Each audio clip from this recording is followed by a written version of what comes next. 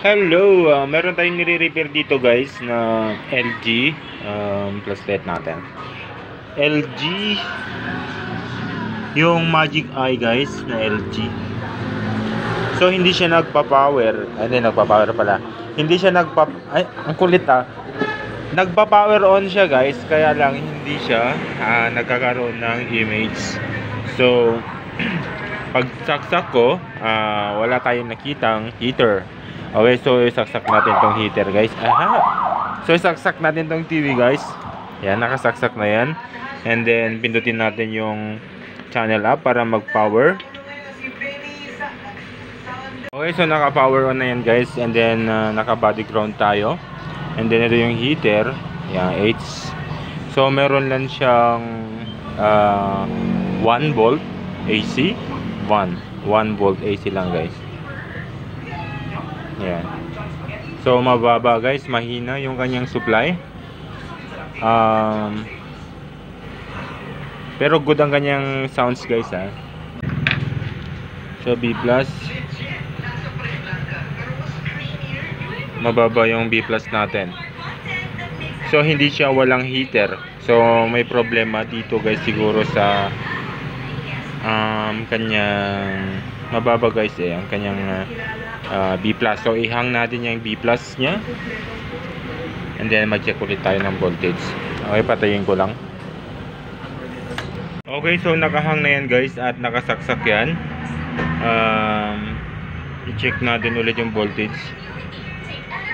O yun, meron na siyang uh, 119, 118.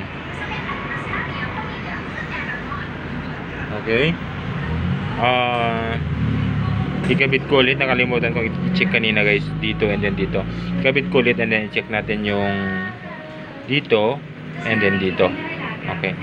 Kung uh, magbabago or magiging drop yung kanyang voltage.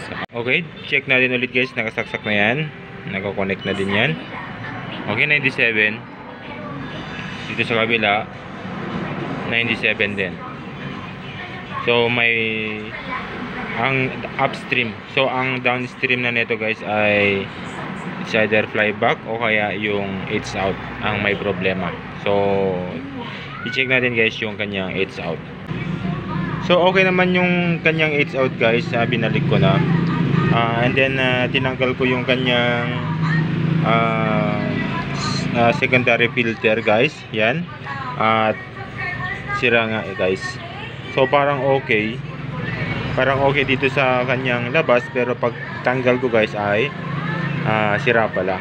So try natin palitan ito guys and then uh, tignan natin kung magno-normal na yung kanyang voltage na na B plus sa B plus guys. Okay maghanap lang tayo ng uh, 160 by 220 microfarad. Okay meron tayong nahanap guys na 160 by 220 same ng value. Ayan so itest natin So, na-spark guys. So, ibig sabihin, okay ito. At pati na rin pala itong capacitor nito guys, dito sa B plus 10. Okay, so ito guys, nahanap natin 160 by 100. Same value. Okay, test natin.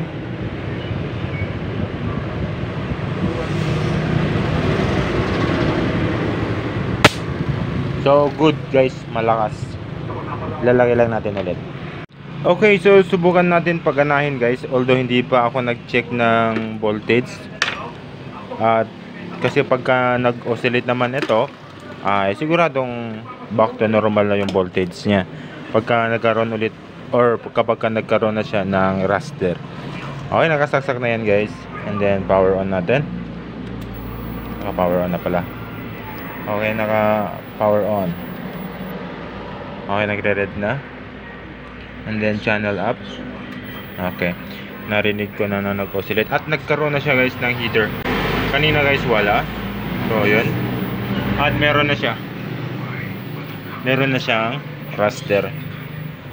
So hindi ko na check yun guys kasi nagkaroon na siya. Ibig sabihin normal na yung kanyang voltage. So hindi na tayo mag-check ng voltage. Ayan. So yun guys ang problema niya sa sa dropping or drop ang kanyang uh, B dahil sa kagagawa ng dalawang capacitor na yan nagpa nag, hindi naman buntis basta yung dalawang basta yung dalawang capacitor na yan guys ang may kagagawa. Okay, lagyan natin ng antena para makita natin kung okay ba yung reception niya, yung tuner niya or may ibang problema pa. Okay, so testing natin guys. Power on. Nakalubog pala yung isa. Ayan, so meron na siyang mag-usap. Ayan. Ayan. Mamaya, kwentuhan mo ako. So mal- malakas yung kanyang flyback. Ginalaw ko kasi yan kanina. Ano ginagawa mo dito? Paano ka nakapasok? Ganda. Please call security. Ayan. Ano na naman ba ang kasinungalingan ang sinumbong ng Okay, so okay na guys. Nag-oscillate na siya ulit. Ayun guys, kapag nakatulong naman tong video natin, please uh, like naman tong video. At kung hindi ka pa nakasubscribe, please subscribe. Maraming salamat guys sa panonood.